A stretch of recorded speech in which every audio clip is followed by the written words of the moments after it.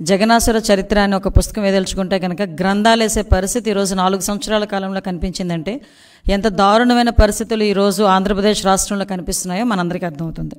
ముఖ్యంగా జగనాసుర చరిత్రలో ముఖ్యంగా జగన్మోహన్ రెడ్డి పరిపాలనలో అక్క చెల్లెమ్మలని చెప్పి బుగ్గలు నొక్కి ముద్దులు పెట్టిన వ్యక్తి ఒక్క ఛాన్స్ అని చెప్పి అడుక్కుంటే ఈరోజు ఒక ఛాన్స్ ఇచ్చిన పాపానికి ఆడబిడ్డల తాలూకా మనుగడే ప్రశ్నార్థకంగా మారిపోయే పరిస్థితి ఆంధ్రప్రదేశ్లో వచ్చిందంటే ఇంతకన్నా దౌర్భాగ్యమైన పరిస్థితులు ఏదైనా ఉంటాయా?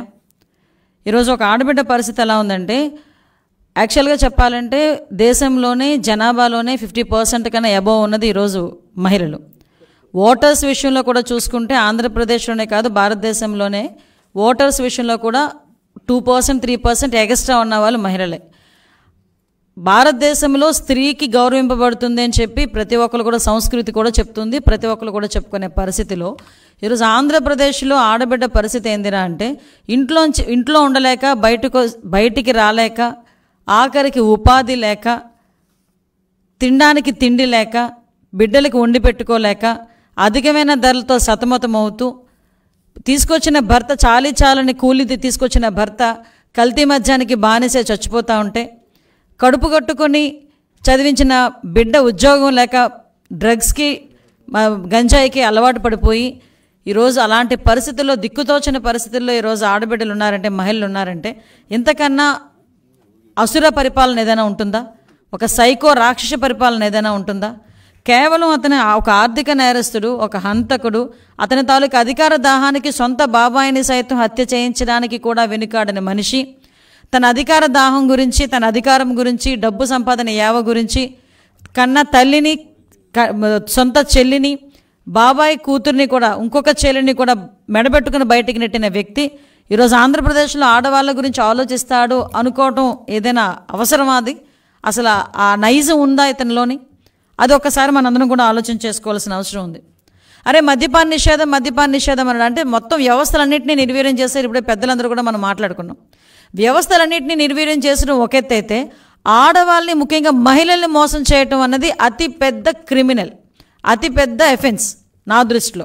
ఎందుకంటే డైరెక్ట్గా మహిళల్నే టార్గెట్ పెట్టుకొని నా అక్క చెల్లెములు నా అక్క చెల్లెములని ప్రతిసారి కూడా ఎమోషనల్ బ్లాక్మెయిల్ చేసి నా నీ మేనమావుని నేను నీ కూడుకు మేనమావుని నేను లేకపోతే నీ కుటుంబ సభ్యుడిని నీ బిడ్డనే అని చెప్పి ట్రిగ్గర్ పెట్టి మహిళల్నే చాలా ఎక్కువగా ఎమోషనల్ బ్లాక్మెయిల్ చేసి మహిళలతోనే రాజకీయం చేసేద్దాము మహిళలతోనే మళ్ళా ఆ రాజ్యాధికారంలోకి వచ్చేద్దాము అనుకున్న రీతిలో నువ్వు బిహేవ్ చేస్తున్న బిహేవియర్ చూస్తూ ఉంటే కొన్ని విషయాలు కూడా చెప్పుకోవాలి.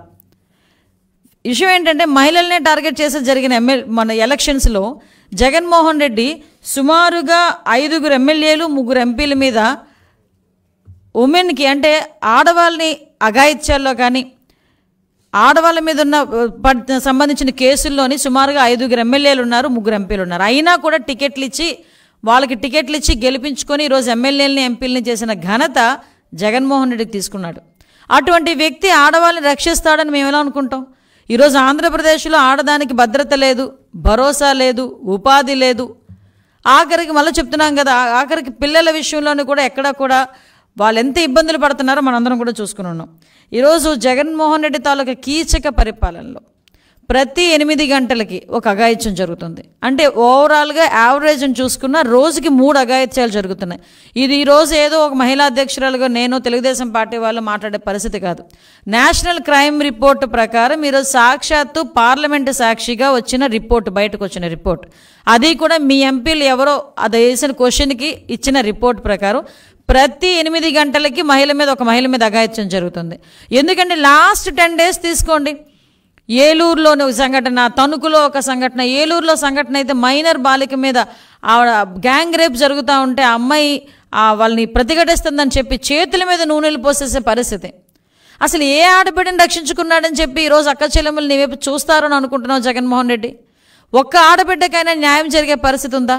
ప్రతిరోజు సగటున మూడు సంఘటనలు జరుగుతున్నాయంటే లా అండ్ ఆర్డర్ ఏమైపోతుందని ఒకసారి ఆలోచన చేసుకున్నామా? ఈరోజు వాళ్ళ మంత్రులే బయటకు వచ్చి అరగంట అంటాడు గంట అంటాడు ఒకడు. వాళ్ళ ఎంపీలు బయటకు వచ్చి ఇష్టానుసారంగా బిహేవ్ చేస్తారు వీడియో కాల్స్లో. వాళ్ళు బయటకు వచ్చి ఆడవాళ్ళ మీద అనుచితమైన వ్యాఖ్యలు చేస్తారు. ఆడవాళ్ళ చేత ఆడవాళ్ళని తిట్టిస్తాడు ఆ పార్టీలో. అటువంటిప్పుడు ఒక ఆడదానికి భద్రత ఎలా వస్తుందని అనుకుంటున్నాడు జగన్మోహన్ రెడ్డి? ఈరోజు పరిస్థితి ఏంటంటే సొంత చెల్లిని సొంత తల్లిని కూడా ఇంట్లోంచి గెంటేసే పరిస్థితి ఉన్నదంటే రేపొద్దున ఆడబిడ్డలు ఎలా హక్కును చేర్చుకుంటాడని జగన్మోహన్ రెడ్డిని నమ్మాలి ఈరోజు మహిళలందరూ కూడా? ఎందుకు నమ్ముతారో నేను అడుగుతున్నా. అదేవిధంగా మనందరికీ తెలుసు విషయం ఏంటంటే మద్యం మీద ఎంత అబద్ధం అండి అబద్ధాలు బతుకే జగన్మోహన్ రెడ్డి బతుకే ఒక అబద్ధాలు బతుకు. నో రిప్పితే అబద్ధాలు తప్పించే నిజం ఏ రోజైనా వచ్చిందా? నిజం వస్తుంది అనుకునేటప్పుడు ఎప్పుడు వస్తుందో తెలుసా? నత్తి వచ్చింది అత్తగాడికి.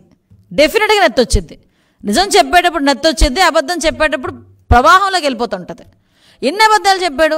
మద్యపాన నిషేధం మూడు దఫాలుగా చేసేస్తానని చెప్పిన మనిషి మద్యపాన నిషేధం అని చెప్పి నవరత్నాల్లో పెట్టి ఈ రోజుకి ఆ మద్యపాన నిషేధం కాస్త నవరత్నాల బ్యానర్లో నియంత్రణ అయిపోయింది. ఈరోజు ఇందాకే పెద్దలు చెప్పున్నారు సుమారుగా నలభై ఒక కో నలభై ఒక వేల కోట్ల రూపాయలు మద్యం మీద జగన్మోహన్ రెడ్డి సొంత ఆదాయం. అది ఖజానాకు వచ్చే ఆదాయం కాదు. దాని మీద చూసుకుంటే నెలకి ఎనిమిది వందల యాభై నాలుగు కోట్లు. ఒక రోజు మద్యం అమ్మితే ఇరవై ఎనిమిది కోట్ల రూపాయలు తాడేపల్లి కొంపకెళ్ళి భారతిరెడ్డి గారి గల్లాపెట్టులోకి వెళ్తున్నాయంటే ఒకసారి ఏ రేంజ్లో మద్యం మీద బతికేస్తున్నాడో మనం ఆలోచించుకోవాలి. మద్యం మీద ఈ రకంగా బతికేస్తున్న మనిషి మద్యపాన నిషేధం చేస్తాడంటే మీరు నమ్మాలా? ఇంకా ఎదురు చూడాలా?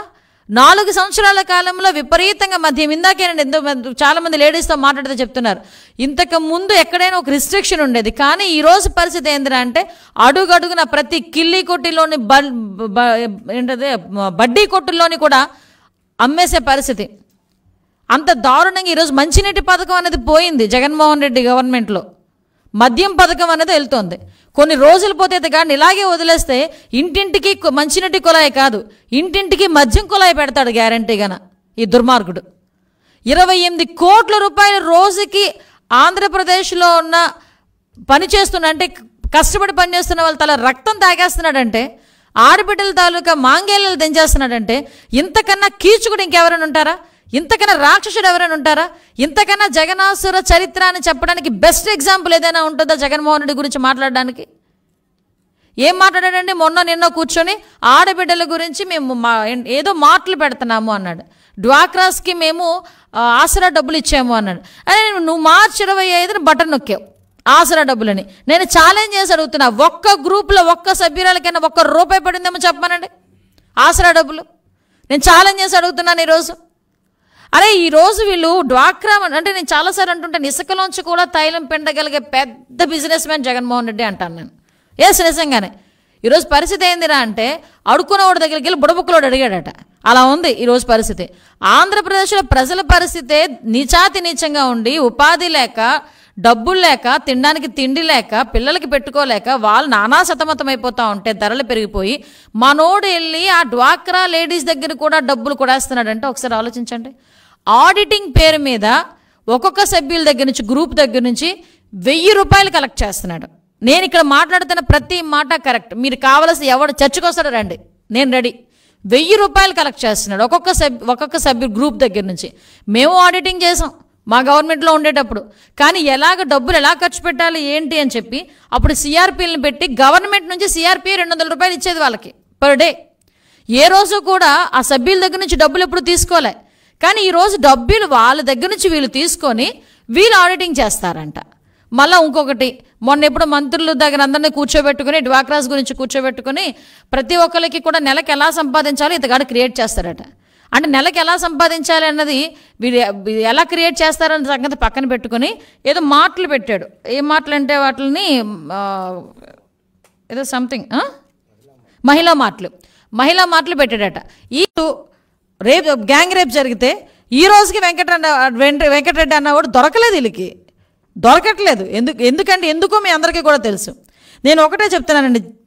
జగన్మోహన్ రెడ్డి మహిళలను చేస్తున్న మోసాల గురించి అది మద్యపాన నిషేధం అవనేయండి ధరల పెరుగుదల అవనేయండి భద్రత అవనేయండి వాట్ ఎవర్ ఇట్ మేబీ ఏ విషయంలోనైనా ఫస్ట్ నిలదీయాలి చొక్కా పట్టుకొని అంటే భారతిరెడ్డి నిలదీయాలి. అందరి వదినమ్మ భారతిరెడ్డి ఫస్ట్ చొక్కా పట్టుకుని నిలదీయాలి. ఎందుకంటే భారతీరెడ్డి ఇంతకు ముందు ఆవిడ ఇప్పుడు కూడా రాజకీయాల్లోకి రంగప్రవేశం లేదు అనుకుంటే మేమేం మాట్లాడకపోతాం. ఈవిడే బయటకు వచ్చి మీ అన్న వస్తున్నాడు అమ్మ ఒడిస్తాడు మీ అన్న వస్తున్నాడు మద్యం ఉండదు మీ అన్న వస్తున్నాడు ధరలు తగ్గిపోతాయి మీ అన్న వస్తున్నాడు మిమ్మల్ని కాసేస్తాడు అని చెప్పి ఈవిడే బయటకు వచ్చి ఓట్లు వేయించింది చాలామంది చేత. ఈరోజు ఆ ఓట్లు వేయించింది కాబట్టి డెఫినెట్గా ఈవిడ ఈరోజు చొక్క పట్టుకుని అడగాల్సిన పరిస్థితి కూడా భారతీరెడ్డిదే ఎస్ మేము అడుగుతాం అమ్మ వదినమ్మ భారతి గారు ఈరోజు చొక్కా పట్టుకుని అడగండి నీ భర్తని. నెల రోజుకి ఇరవై ఎనిమిది కోట్లు ఇరవై ఎనిమిది కోట్ల రూపాయలు మద్యం తీసుకొచ్చి మీ ఇంట్లోని దాచిపెడుతున్నాడు కదా. ఈరోజు ఎందుకు అలా చేస్తున్నావు అని అడగాల్సిన బాధ్యత కూడా భారతిరెడ్డి గారి మీద ఉంది. ఎందుకు మాకు ఈ రాక్షస పరిపాలన? ఇలా చూసుకుంటే ఈరోజు ఒక్కొక్కటి ఎంత ఒత్తిడి పెరుగుతుందంటే మేము ఒకటే కోరుకుంటున్నాం. ఈరోజు జగన్మోహన్ రెడ్డి తాలూకా రాక్షస పరిపాలనకి అంతం అందాలంటే ఈరోజు మహిళలందరూ కూడా ఏకమై ఈరోజు పోరాటం చేయాల్సిన అవసరం ఉంది. దాని గురించి ఆలోచించాల్సిందిగా కోరుకుంటున్నాం.